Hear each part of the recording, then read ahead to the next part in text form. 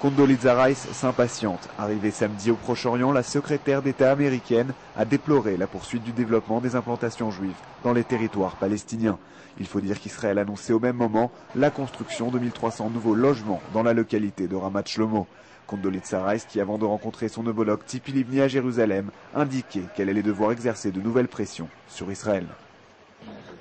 Okay, thank you and good morning. Uh, I would like to welcome uh, Secretary Rice to the region.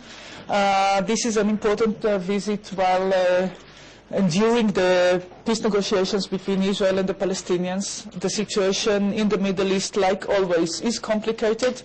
And while negotiating uh, with the Palestinians, we need to address also difficulties on the ground, especially uh, the situation in uh, Gaza Strip. Relations between Israel and the Palestinians, the situation in the Middle East. It is an important time for the peace process, and uh, I agree with you. The situation in the Middle East is always complicated, and so uh, we mustn't let that deter us from seeking the solution to the crisis and to, to the conflict that you uh, have been uh, working toward.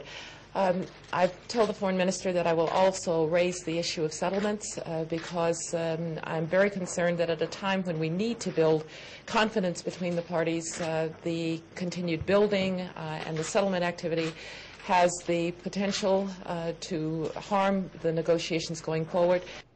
Coup de froid donc dans les relations entre Israël et les États-Unis. Alors que le mandat de George Bush approche de son terme, l'administration américaine semble pressée de faire avancer les discussions de paix dans la région, qu'elle souhaiterait même voir se concrétiser d'ici la fin de l'année. La fermeté de Condoleezza Rice devrait n'en pas douter satisfaire les responsables palestiniens qu'elle doit rencontrer ce dimanche.